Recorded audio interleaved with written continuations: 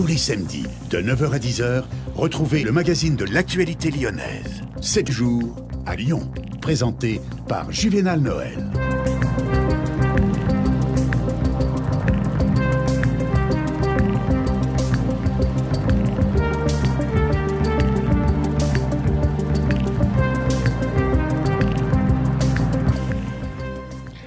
À Lyon, les baguettes et viennoiseries désormais livrées au saut du votre lit, ainsi titré donc euh, le quotidien 20 minutes Lyon la semaine dernière, que ce nouveau concept qui commence donc à prendre ses marques dans la ville, la capitale des Gaules. On en parlera ce matin avec la cofondatrice Caroline Faucon.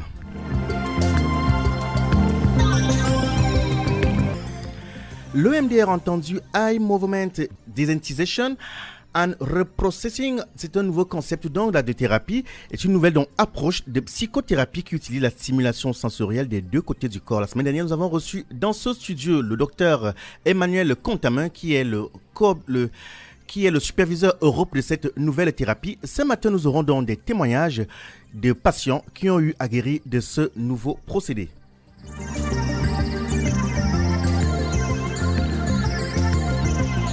D'autres informations donc seront données dans ce magazine. Nous reviendrons donc sur ce débat sur les cosmétiques. La semaine dernière, c'est c'est le CERA entendu donc c'est la cette nouvelle maison de, sur l'environnement qui euh, se trouve donc à Lyon, la maison de l'environnement qui se trouve à la près de la Tony Gagné, sur 14 avenue Tony Gagné donc qui a donné une conférence la semaine dernière. C'était Elisa Devo, qui est donc infirmière spécialisée en santé environnement. Elle sera avec nous ce matin pour nous donner les réflexes qu'il faut avoir lorsqu'on achète des cosmétiques. Voilà pour le sommaire, le développement de toutes les informations et bien d'autres dans quelques instants. De 9h à 10h, retrouvez le magazine de l'actualité lyonnaise. 7 jours à Lyon présenté par Juvénal Noël. Mesdames, Messieurs, bonjour. Merci d'être des nôtres ce matin. Il pleut à Lyon. Cela n'empêche que nous sommes avec vous pour vous apporter donc des nouvelles fraîches. Je vous disais en titre.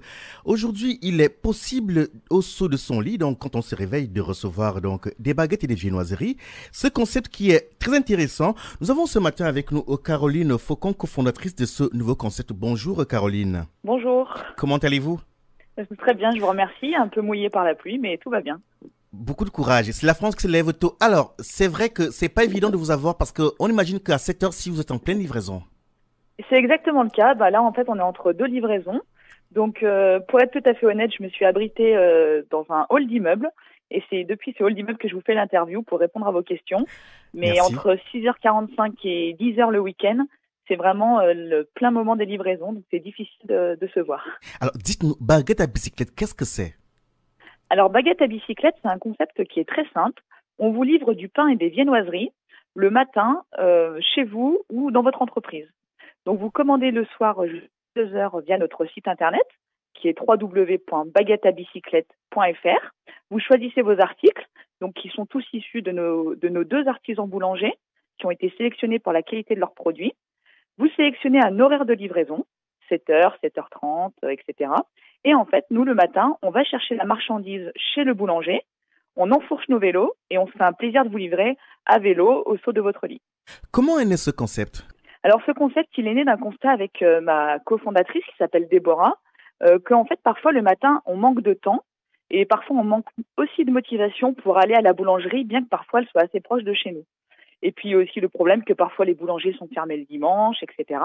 Donc on s'est dit, si on proposait un service de livraison à vélo, ça serait quelque chose qui serait un peu novateur parce que personne ne livre du pain aujourd'hui. Et c'est quelque chose qui pourrait servir à d'autres personnes. C'est comme ça qu'est né le concept. Est-ce que ça marche? Eh bien écoutez, là ça fait deux mois. Et c'est vrai qu'au bout de deux mois, ben, on est surprise par l'ampleur que, que, ça a pu prendre. Euh, ça marche bien, on a eu beaucoup de retombées euh, médiatiques et c'est vrai que ça nous a beaucoup aidé. Et puis on se rend compte que les gens, une fois qu'ils ont testé le service une fois, non seulement ils ont apprécié de se faire livrer, mais en plus ils ont vraiment apprécié la qualité des produits qu'on a sélectionnés et donc à chaque fois, les gens recommandent énormément et ça, c'est vraiment très encourageant pour, euh, pour l'avenir. 7 jours à Lyon. Tout ce qui fait l'actualité lyonnaise. Pour ceux et celles qui se joignent à nous, qu'à ce moment, nous recevons donc en direct avec euh, Caroline Faucon, qui est cofondatrice du concept Baguette à bicyclette, ce nouveau concept qui commence à prendre l'ampleur au niveau de Lyon. Et il euh, faut préciser que ce matin, elle est sous la pluie et elle est en train de livrer. Pour ceux qui ne connaissent pas, c'est l'occasion de, découvrir. Notre souhait, c'est d'encourager ces, initiatives et aussi de les soutenir. Dites-nous, pour créer cette structure que vous dirigez aujourd'hui, comment ça s'est passé? Alors c'est vrai que la création d'une structure, euh, c'est pas forcément évident. Après, j'ai quand même la chance d'être euh, entrepreneur euh, depuis déjà quelques années. J'ai déjà créé deux autres sociétés et donc forcément, ça a un peu facilité les choses. Mais donc forcément, comme toute entreprise, vous devez vous immatriculer, vous devez faire des démarches auprès des impôts et puis après, vous devez surtout démarcher des clients. Là, c'est la plus grosse c'est la plus grosse opération qui va vous permettre de vous faire connaître. Qui sont vos clients? Alors nos clients, euh, c'est des gens qui habitent Lyon parce qu'on livre Lyon et Villeurbanne. Euh, pour les entreprises, on décide d'aller un peu plus loin, on, on s'exporte un peu dans le Grand Lyon. Mais nos clients particuliers, ce sont des gens qui ont entre 30 et 65 ans, qui ont entendu parler du concept, qui sont citadins mais qui n'ont pas forcément l'envie de sortir pour acheter du pain. Et donc finalement, bah, ce sont des gens qui ont accès à Internet et qui viennent commander sur, euh, sur notre site. Donc après, on a des personnes qui sont un peu plus âgées aussi qui commandent par téléphone. Et puis voilà, on a des jeunes qui maîtrisent très bien les réseaux sociaux ou qui maîtrisent très bien Internet et qui commandent directement via le site Internet. Mais on a vraiment tout type de clients et de la famille à la personne seule. Parce que chez Baguette à bicyclette, il n'y a pas de minimum de commande. Vous pouvez nous commander simplement une baguette qui vous est livrée pour 2 euros. Quelles sont les zones que vous couvrez actuellement? Alors, on couvre euh, l'ensemble des arrondissements de Lyon. On couvre aussi Villeurbanne. Et euh, pour les entreprises, on a décidé de couvrir un peu plus large le Grand Lyon, c'est-à-dire qu'on peut vous livrer 50 euh, pains au chocolat à votre bureau. Par contre, évidemment, en termes de distance, là, on est obligé d'être dans un véhicule motorisé. Donc, c'est n'est pas de la livraison à vélo. Mais par contre, à terme, on va essayer de faire une levée de fonds par du crowdfunding. Et à ce moment-là, on va acheter un véhicule électrique. Pour faire un cas pratique, quelqu'un qui veut commander les viennoiseries pour demain dimanche, de manière pratique, qu'est-ce qu'il faut faire? Alors, de manière très pratique, pour demain matin, vous voulez commander, vous allez sur le site www.baguetteabicyclette.fr. Vous sélectionnez les articles de votre choix. Donc, on a des pains sans gluten, des pains bio ou des pains classiques. Vous sélectionnez des viennoiseries si vous en avez envie. Et même, on a des confitures et des miels. Donc, ça, c'est que des produits qui ont été rigoureusement sélectionnés. Vous mettez tout ça dans votre panier et là, on va vous demander de choisir un horaire de livraison. Donc, pour demain matin, vu qu'on est dimanche, c'est entre 7h et 10h. Vous sélectionnez ce créneau et puis ensuite, vous recevez une confirmation de commande. Nous, demain matin, on se présentera chez vous à l'horaire souhaité et c'est à ce moment-là que vous nous payerez parce qu'il n'y a pas de paiement en ligne sur le site. C'est un paiement qui se fait à la livraison, soit en espèces, soit en chèque. Mais ne vous inquiétez pas, si vous payez en espèces, on peut très bien vous faire la monnaie. Pour ceux et ceux qui se joignent à nous, nous recevons euh, Caroline euh, Faucon, qui est cofondatrice du concept baguette à bicyclette. Je vais donner un, un, cas tout simple. Moi, j'ai ma fille qui se trouve du côté de Calure et qui voudrait euh, demain matin recevoir voilà, des viennoiseries, demain dimanche. Est-ce que c'est possible de, recevoir vos services du côté de Calure, par exemple? Eh ben écoutez, alors nous chez Baguette à bicyclette, on a euh, euh, on a vraiment un mot d'ordre, c'est d'écouter nos clients. Et cette semaine, on a eu beaucoup de clients qui nous ont demandé est-ce que vous pouvez livrer Caluire? Et c'est pour ça qu'on a décidé ce week-end exceptionnellement de faire des livraisons sur Caluire et Cuir. Donc pour demain, si votre sœur habite Caluire, aucun problème, nous pouvons la livrer. Euh, à l'heure de son choix sur la commune de Caluire et Cuir. C'est fort intéressant et donc pour, ceux qui aimeraient entreprendre parce que comme je le disais, c'est pas évident d'entreprendre aujourd'hui. Et même une fois qu'on a entrepris, il y a d'autres difficultés qui sont euh, sur euh, la route. Quelles sont les principales difficultés auxquelles vous heurtez aujourd'hui? Alors bah aujourd'hui, euh, aujourd'hui même en ce samedi, il y a la difficulté du temps parce que forcément, lorsque vous faites des livraisons sous la pluie, c'est beaucoup moins agréable. après, on se retrouve aussi forcément confronté à des problèmes de temps parce que lorsque vous créez une entreprise, que vous êtes une jeune start-up, comme on dit, vous devez vous occuper de la partie administrative, comptabilité, démarchage commercial euh, gérer le site internet parce que parfois il peut y avoir des problèmes techniques. Et malheureusement, tout ça, ça prend beaucoup de temps. Et c'est vrai que, bah, finalement, on manque de temps. Donc c'est vraiment une, une, problématique parce que, en plus, la start-up, elle manque de temps, elle n'a pas beaucoup d'argent pour payer des gens pour le faire. Donc les journées n'ont que 24 heures. Euh, c'est parfois pas suffisant.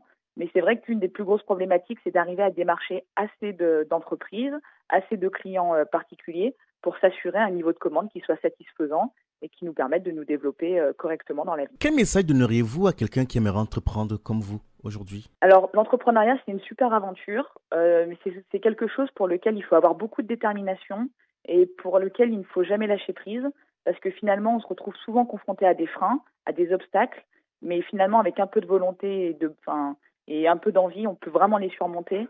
Mais vraiment, l'entrepreneuriat, c'est une aventure. Euh, de tous les jours. Merci beaucoup, Caroline Faucon. On espère avoir vos clients au téléphone, éventuellement, pour qu'ils puissent nous dire euh, tout le bien que votre service leur apporte. Eh ben, écoutez, avec plaisir. J'espère qu'ils vous contacteront pour vous dire que Baguette à bicyclette a réveillé leur matin. Retrouvez le magazine de l'actualité lyonnaise. 7 jours à Lyon. C'était donc Caroline Faucon qui est cofondatrice du concept Baguette à bicyclette qui nous parlait donc de ce concept qui aujourd'hui commence à prendre de l'ampleur dans la capitale des Gaules. 7 jours à Lyon. Votre rendez-vous d'actualité proposé par Radio Pluriel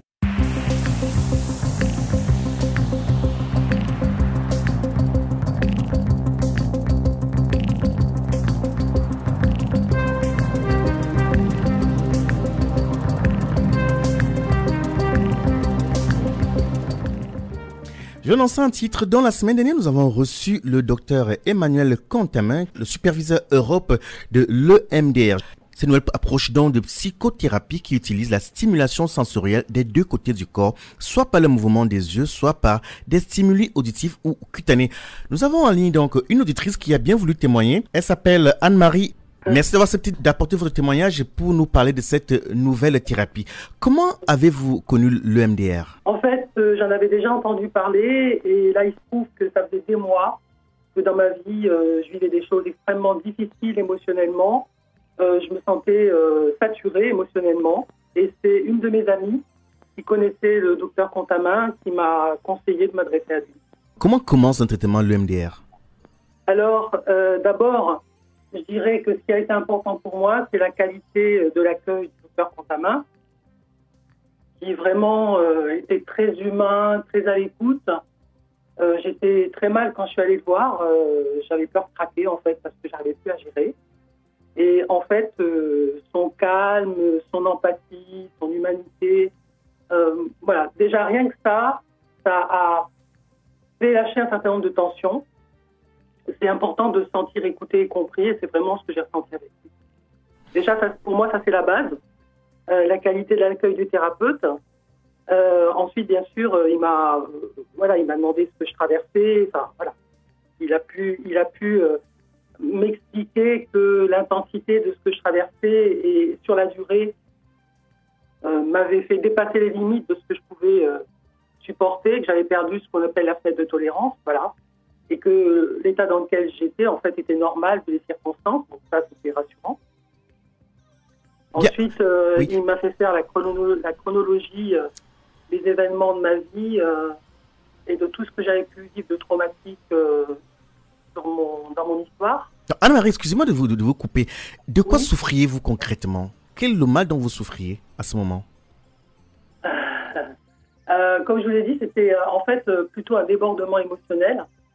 Euh, une difficulté à gérer, euh, à gérer à ce moment-là euh, tout, tout, ce qui se passait dans ma vie parce qu'il y avait trop de choses et trop de choses difficiles émotionnellement. Et c'est cette saturation dont je vous ai parlé tout à l'heure en fait. Pour être plus pratique, de manière concrète, au quotidien, comment, comment cela se vivait? Beaucoup de stress, des problèmes de sommeil, des angoisses, des choses comme ça. Donc, ce qui était, votre, qui votre contact, qu'est-ce qu'il vous disait? C'est-à-dire, comment il vivait votre attitude, votre, votre mal-être? Euh, Je n'ai pas compris votre question, excusez-moi. Vous parlez de votre souffrance, de votre mal-être. Et ce qui était à votre contact au quotidien, comment il le vivait? Euh, Il vous repoussait, il vous comprenait, il vous acceptait. Comment se passait votre, votre, vos journées avec vos proches? Oh, non, c'est pas, c'est pas tant ça. Il n'y avait pas de, choses euh, négatives de la part des proches. C'était plutôt moi qui, dans ma gestion, me sentais euh, saturée. Devoir gérer tout ce que gérer difficile sur le plan familial, euh, plus gérer tout le reste, ça faisait trop à un moment donné. J'étais en saturation, c'est ce que je vous disais tout à l'heure. Et donc, comment, comment donc débute le, un traitement MDR pratiquement ce jour-là? Justement, je, voulais y venir. La première chose qui m'a fait faire, c'est installer ce qu'on appelle des ressources, euh, des outils que je pouvais ensuite utiliser toute seule. Notamment ce qu'on appelle le contenant. En fait, c'est un, voilà, c'est un contenant qu'on va, qu'on va imaginer, qu'on va visualiser euh, dans toutes ses composantes, euh, le volume, la matière, la couleur le système de fermeture, euh, toutes ces choses-là. dans lequel je pouvais mettre tout ce qui, tout ce qui m'encombrait, tout ce qui me travaillait, voilà, tout ce qui me perturbait. et effectivement, en utilisant cet outil-là, c'était un, moyen de faire lâcher un certain nombre de tensions musculaires. je pouvais imaginer euh, que tout ce qui était difficile pour moi, je le mettais dans ce contenant et ensuite je le fermais de manière hermétique. J'avais choisi quelque chose de très très euh, très hermétique comme fermeture pour pouvoir vraiment euh, être plus plus sereine. Et puis il m'a fait aussi installer ce qu'on appelle le lieu sûr, c'est-à-dire un espace de sécurité dans lequel je pouvais me sentir bien, en paix. Et alors, ce qui est très important, c'est que tout ça, ça s'est fait vraiment euh, en lien avec les sensations corporelles. Euh, voilà, c'est euh, entre l'état émotionnel et les sensations corporelles. C'est tout ça qui est qui est travaillé dans la thérapie EMDR. Alors, et puis ensuite. Oui, excusez-moi, pour mieux comprendre ce que vous dites, tout cela, c'est une création mentale, c'est bien cela? Oui, c'est ça, c'est une création mentale. Alors après, le contenant, c'est une création mentale. Après, si, le lieu sûr, ça peut être effectivement euh, un souvenir d'une expérience euh, réelle euh, dans lequel on était, on était bien, on était en paix, on avait de bonnes sensations corporelles. Et là, en fait, pour récupérer ce souvenir-là qui est, qui est en, nous, c'est vraiment par tous les sens aller rechercher toutes les informations pour, pour les rassembler dans ce souvenir-là et, ensuite faire des tapotements alternés lents pour faire un ancrage de cette ressource-là à laquelle ensuite euh, ben, on peut faire appel quand on en a besoin. Euh, par exemple, quand on est stressé, on n'est pas bien, pour, euh, pour apaiser tout ce qui a besoin de l'aide. Est-ce que c'est simple? Est-ce que c'est facile à faire tout cela? Oui, oui, oui, c'est oui, c'est facile à faire. En plus, bon, il, explique très bien la manière dont on doit procéder pour, pour le faire. C'est très clair voilà, il faut, il faut vraiment se mettre dans son corps et, et euh, aller chercher les sensations. Mais ça revient quand on rappelle un souvenir comme ça, qui est un souvenir positif, comme les autres d'ailleurs, hein, ceux qui ne le sont pas, pour travailler ensuite sur les traumas, euh, ça remonte, si vous voulez, et on retrouve les éléments. Donc oui, c'est, on va dire que c'est simple à faire, oui, bien sûr, c'est accessible à tout le monde. Combien de temps tout cela a duré? Oh, c'est un certain nombre de séances, je pourrais pas vous dire comme ça. Euh, après, je dirais que... approximativement dans le temps, un mois, six semaines, deux mois ou plus. Oui, on peut on peut partir euh, là-dessus sur quelque chose d'un peu plus long parce qu'il se trouve que euh, comment vous dire ce que j'étais en train de vivre dans, dans mon présent allait résonner avec des choses de mon histoire profonde et du coup ça nous a conduit à aller travailler sur des traumas très anciens euh, que je connaissais hein, de mon histoire, euh, sur lesquels j'avais travaillé en thérapie euh, pour apprivoiser tout ça, comme je vous le disais, pour apprivoiser, pour vivre mieux avec, mais dont, je sentais bien que j'étais pas guérie. Du coup, le fait que partant du présent, je sois amenée à revisiter ces traumas du passé, qui faisaient partie de la chronologie qui avait été tracée avec lui au début, si vous voulez, voilà, ça a permis vraiment de, réparer ces espaces de moi euh, et, vraiment d'aller vers quelque chose de l'ordre de la guérison, alors que voilà, c'était pas, c'était pas, c'était pas le cas jusque là. Est-ce que vous vous sentez guéri aujourd'hui? Sur ce qu'on a travaillé, oui, bien sûr, oui, oui, oui, parce que en fait, euh, je vous parlais de ressources. il y a les, outils dont je vous ai parlé. Il y a aussi, il y a aussi la possibilité de, de, de d'amener des personnes ressources dans ce travail-là. Euh, par exemple, quand on, travaille sur, euh, sur une problématique d'attachement précoce, hein, les premiers liens, avec toutes les conséquences que ça peut avoir, et qu'on revisite euh, en, EMDR ce, genre de choses, on peut à un moment donné, de, la difficulté vécue, amener des personnes ressources, les, les, faire entrer dans, dans ce travail-là pour réparer l'enfant blessé en soi. Et c'est ce que j'ai fait avec lui. Ça, c'est extraordinaire. Très bien. Donc, pour ceux et ceux qui, prennent notre image que maintenant nous écoutons Anne-Marie qui est âgée de 62 ans, qui a guéri grâce à l'EMDR qui est cette nouvelle thérapie. On utilise la stimulation sensorielle des deux côtés du corps, soit par le mouvement des yeux, soit par des stimuli auditifs ou cutanés. Dites-nous, comment avez-vous connu l'EMDR En fait, j'avais déjà entendu parler de cette technique, mais bon, je la connaissais de loin, hein, dans ce qu'on pouvait dire de son efficacité. Et au moment où je traversais toutes ces choses très très dures émotionnellement sur le plan familial, une de mes amies qui connaissait le docteur Contamin m'en a parlé et m'a conseillé de m'adresser à lui. Voilà, c'est aussi simple que ça. Comme je cherchais de toute façon de l'aide, parce que je me rendais bien compte que je ne pouvais pas continuer comme ça à, traverser toute seule toutes ces choses difficiles euh, qui, se passaient, euh, voilà, je suis allée vers lui et puis la qualité de son accueil euh, a fait que de toute façon d'emblée c'était ok pour moi. Quoi. 7 jours à Lyon, tous les samedis de 9h à 10h. Êtes-vous prête à conseiller cette méthode d'accès-thérapie à quelqu'un? Ah tout à fait. Alors, alors euh, à toutes les personnes qui ont vécu des traumas non digérés, euh, c'est la plupart du temps le cas, dans leur histoire, euh, que ce soit des, traumas d'attachement précoce, hein, des choses qui sont mal passées dans les premières années de leur expérience de vie sur le plan relationnel et qui ont laissé des traces, des problématiques de rejet, d'abandon, de dévalorisation, enfin tout, plein de choses de, ce type. Euh, des personnes qui ont aussi des phobies. Euh, enfin, je, dirais toutes les toutes les choses euh, qui sont qui sont invalidantes, qui qui touchent à l'image de soi, à la confiance en soi, qui, qui, sont des obstacles sur le sur le chemin qu'on peut avoir et dont on a besoin de se libérer pour vraiment prendre sa place pleinement et et avoir des, des pensées positives sur soi et, et pouvoir être en contact avec la vie, avec les autres de la meilleure façon qui soit, pour être heureux. Merci beaucoup, madame, et excellente journée.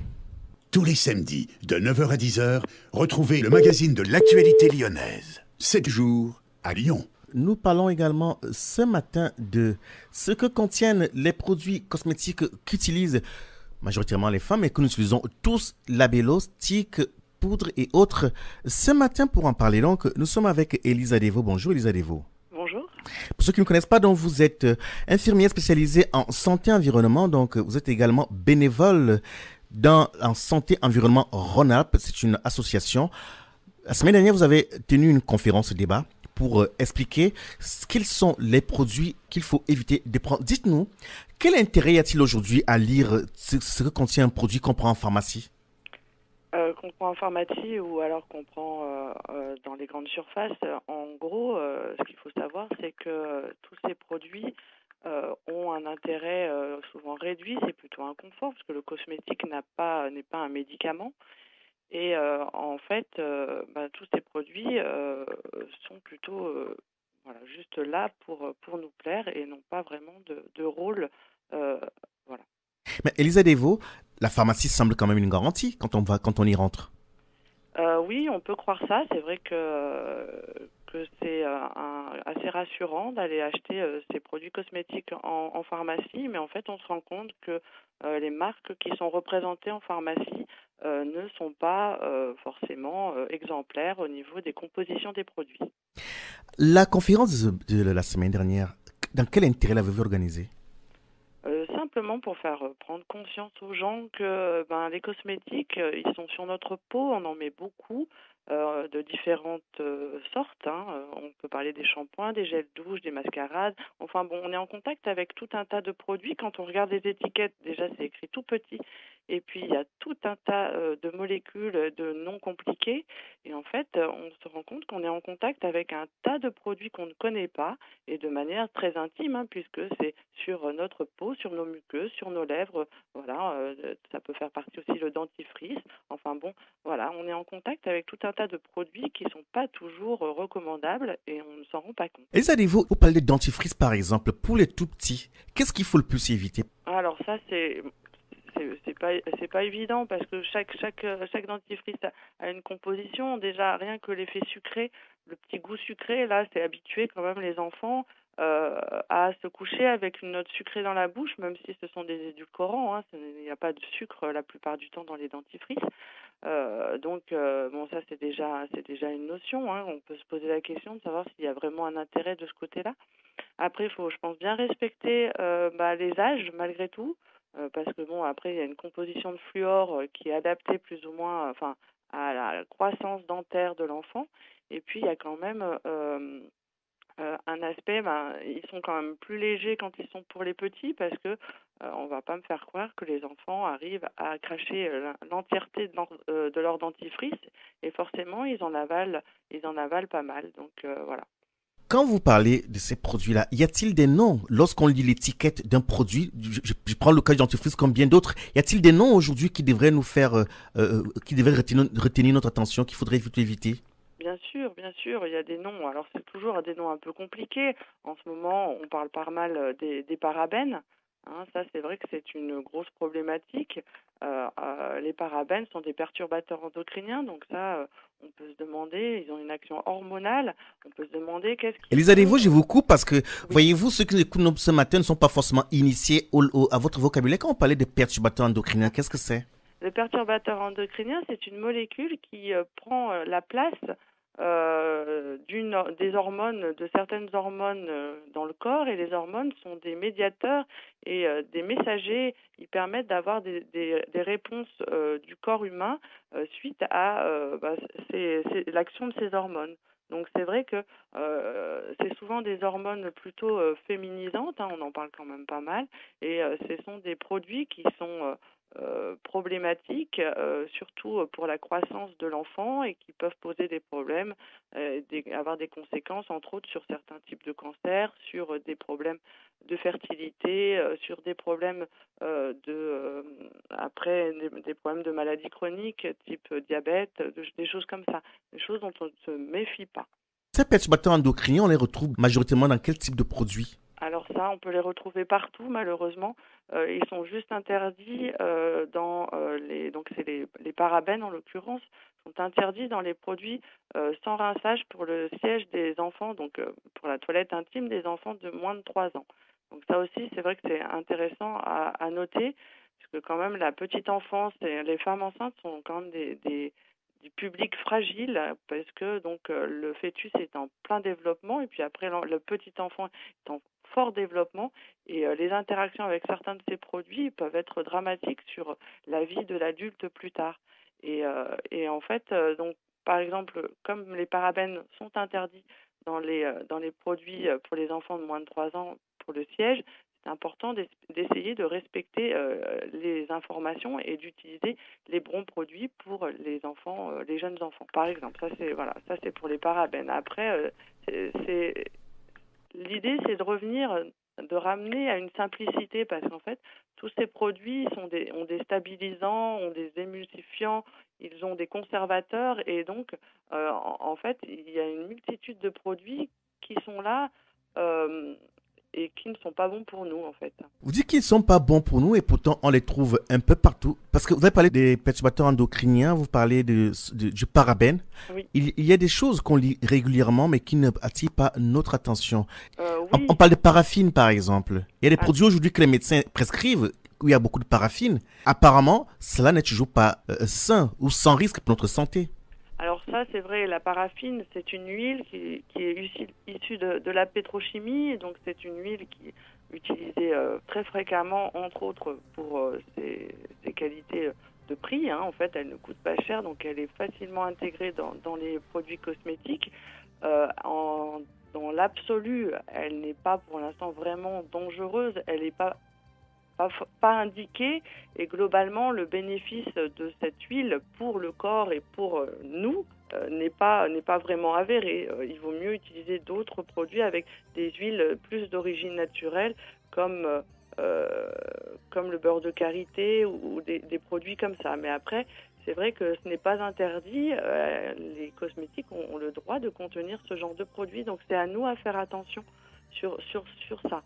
Euh, on va dire que, la, par exemple, la, paraffine, c'est, on, va dire, un, moindre mal euh, au niveau des produits qu'on peut trouver, parce qu'il y a des choses quand même qui sont beaucoup plus préoccupantes, des allergènes, des produits irritants, euh, et, et, ça, ben, on est quand même abreuvé quotidiennement, puisqu'il y a des produits qu'on utilise vraiment tous les jours. Donc ça aussi, sur les produits, les utilisations, hein, je ne parle pas de certains produits qu'on utilise une fois par an, ça c'est, on va dire, c'est anecdotique, mais euh, sur les autres, il faut euh, ceux qu'on utilise quotidiennement, c'est vrai que c'est important de retourner le flacon et d'essayer de, comprendre ce qu'on essaie de nous faire mettre sur la peau tous les jours.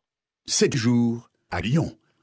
Votre rendez-vous d'actualité proposé par Radio Pluriel pour ceux et celles qui se joignent à nous, à ce moment, nous recevons donc euh, Elisa Devo, elle est infirmière spécialisée en santé environnementale. Donc, euh, samedi, euh, samedi, autant pour moi, la semaine dernière, je dis précisément, elle a donné une conférence pour attirer l'attention des personnes sur l'usage des cosmétiques qu'on utilise aujourd'hui, sur certaines inscriptions qu'on y trouve auxquelles on ne prête pas souvent attention.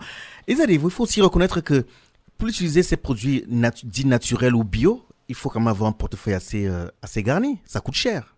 Comment faire? Alors, euh, ça coûte cher. Bon, euh, peut-être, oui. Il y a un prix supérieur souvent parce que la qualité des produits le nécessite. L'utilisation, c'est, pas, c'est rarement les, on va dire les industriels ou ceux qui fabriquent les produits, on va dire plus bio, euh, qui ont euh, s'en mettent enfin voilà ils font pas vraiment d'argent là-dessus hein. c'est simplement que les produits sont des produits plus chers euh, à la base hein, à fabriquer donc le ça, se répercute sur le produit fini mais en même temps on peut trouver de la simplicité. On n'est pas forcément obligé d'avoir 15 teintes de vernis. Des vernis à, 2 euros qui sont pas chers qui sont bourrés de produits perturbateurs endocriniens ou de, produits qui peuvent poser question, euh, peut-être que ben voilà, il faut aussi savoir faire un peu le ménage dans sa dans, sa salle de bain et se dire ben voilà moi qu'est-ce que je garde, qu'est-ce qui est important pour moi? Euh, et puis euh, et puis après il y a toute une mouvance de, de faire soi-même, de partage d'expérience, de simplicité et finalement des fois c'est c'est pas plus cher. Oui si on prend les crèmes, les choses en, l'état, si on les achète comme ça euh, en magasin, c'est vrai qu'ils ont souvent un prix supérieur. Après, il faut se poser la question de euh, ma santé est à quel prix? Et puis, euh, comme je disais, il y a des périodes, des périodes charnières, les périodes de, voilà, la femme enceinte, la petite enfance, même jusqu'à l'adolescence, où il y a un, ce sont des moments où ben, peut-être Là, on se dit, bah, il faut que j'y mette le prix parce que c'est important. Aujourd'hui, avec euh, ce qu'on peut noter lorsqu'on lorsqu'on parcourt les, les allées d'un centre commercial, les produits bio ne sont pas toujours à la portée de tous, même s'il faut reconnaître que ces produits qui comportent des perturbateurs endocriniens et autres, l'autre produit issu de l'industrie pétrochimique sont parfois coûtent peu cher. Alors, que faire, Elisa Devo? Que faire? Eh ben, peut-être limiter les produits, euh, essayer de trouver des produits euh, qui ont euh, des compositions simples. Moins il y a de moins il y a de produits, moins il y a de différentes molécules. Et eh ben voilà, retrouver la simplicité, mais aussi on peut aussi aller voir sur les petites recettes de grand-mère, hein, parce que ça, par contre, souvent ça coûte pas cher. Par exemple. Euh, par exemple, euh, le bicarbonate de soude euh, pour mettre en déodorant, ça, ça peut très bien marcher. Mais ça parfume. Ah, je, veux comprendre. On met, on, utilise du bicarbonate de soude comme parfum, c'est ça? Non, non, non. Comme ça absorbe la, sueur et ça absorbe les odeurs. Comment ça marche? On peut mettre une petite pincée sous les aisselles. Alors c'est pas forcément le plus pratique. C'est pas irritant? Euh, non, après c'est à tester, hein, mais euh, en principe, il n'y a pas de raison que ça soit irritant. Euh, il n'y a, pas de, a pas de problématique là-dessus. Après, ce n'est pas un parfum, donc ça non, vous dites les odeurs simplement. Voilà. Après, il y a plein de petites choses, c'est à tester, ça correspond ça correspond pas. Hein. On, est, on est tous différents. Hein. C'est comme il y a des crèmes qui nous, qui nous irritent, il y a des crèmes qui, qui nous plaisent, il y, a enfin, il y a tout un ensemble de choses. Et dans les gammes plus naturelles, il y a aussi tout ça, donc il ne faut pas hésiter à tester. Il faut faut, faut se faire plaisir. Après, pour protéger sa peau, il y a des choses qui coûtent pas grand-chose. Hein. On parle simplement, il faut bien dormir, bien manger, bien s'hydrater, éviter de fumer. On sait que ça a des conséquences sur notre peau également. Euh, faire attention au soleil, euh, c'est-à-dire éviter les moments où, euh, de plein soleil, mettre un chapeau, des lunettes, mettre des t-shirts. Par exemple, ça aussi, ce sont des solutions. Et ce sont des solutions, en l'occurrence, qui coûtent pas très cher et qui nous permettent de nous protéger. Elisa vous j'ai entendu quelque chose qui m'a un peu surpris. Dans la, salle, quelqu'un disait qu'on peut se laver sans savon et être propre. Est-ce que c'est possible? Alors, elle ne disait pas ça. C'est simplement qu'on a une. Maintenant, dans notre vie moderne, on a l'habitude de penser qu'il faut vraiment se laver tous les jours, euh, sinon, euh, voilà, avec des produits. En fait, les produits souvent nous irritent et dans l'absolu, hein, les dermatologues disaient, moi j'ai entendu, euh, je les ai entendus dire que en fait la, peau est protégée par un petit film lipidique donc de, graisse en fait. ça nous protège des agressions euh, extérieures et puis ça nous ça nous permet de, garder euh, l'humidité, on va dire, éviter de nous déshydrater. Et en fait, à force de se laver avec des produits entre autres des fois qui sont des qui nous enlève ce petit film lipidique, en fait, eh bien, euh, on fragilise euh, notre peau, on fragilise cette barrière de, notre corps qui, qui n'est plus, euh, on va dire, aussi imperméable qu'elle devrait l'être. Donc, au final, des fois, on n'a pas besoin de mettre de produits moussants, nettoyants, entre guillemets, sur. Elisa Devos, excusez-moi de vous couper, mais naturellement, quand ça mousse, ça lave plus, ça lave mieux, on pense. Eh bien, non. Comment ça? Eh bien, ce n'est pas parce que ça mousse que ça lave. Euh, ça, n'est pas, en fait, pour nous maintenant, euh, dans, l'imaginaire, dans, notre imaginaire, c'est ça. Mais en, l'occurrence, euh, c'est pas parce que ça mousse qu'on est, que c'est propre. En fait, la plupart du temps, c'est l'action mécanique qui enlève les salissures. C'est le fait de frotter. Simplement. Après, euh, après euh, c'est pour, ça que la, douche à l'eau, ça permet simplement, c'est un confort. On va dire, ça nous réveille, ça nous fait plaisir.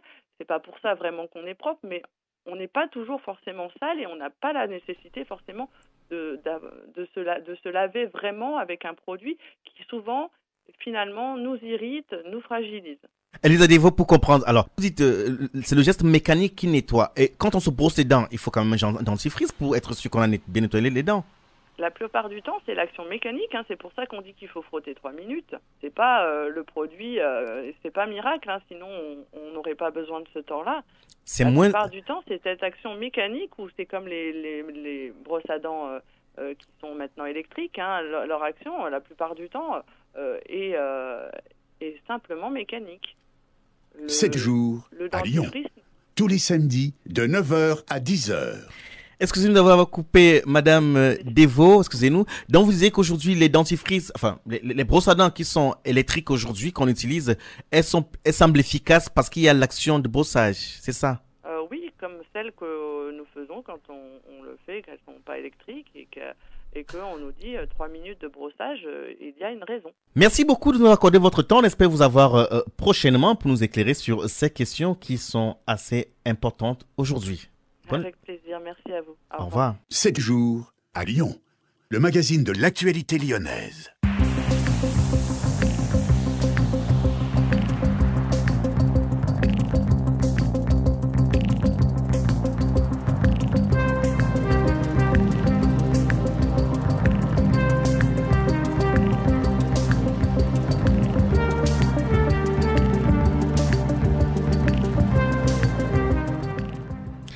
Nous allons prendre donc cette brève les pickpockets sont très actifs dans les transports en commun en ce moment à Lyon. La lyonnaise, dont une lyonnaise de 70 ans avait été repérée par les trois hommes alors qu'elle rechargeait sa carte TCL le 2 mai dernier.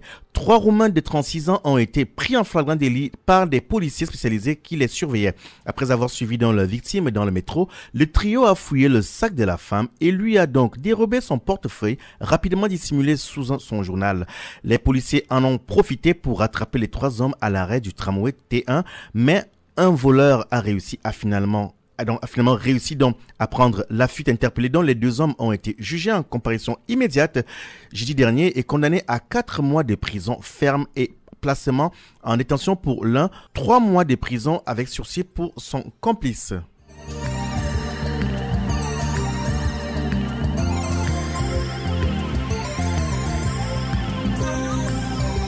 Cette note sportive à la fin de notre magazine dans l'Est du Cher dans chute et c'est loin de la Ligue 2. Les Lyonnais ont perdu 2 à 1 face à Chambly et ont laissé filer leur trêve d'une montée en Ligue 2.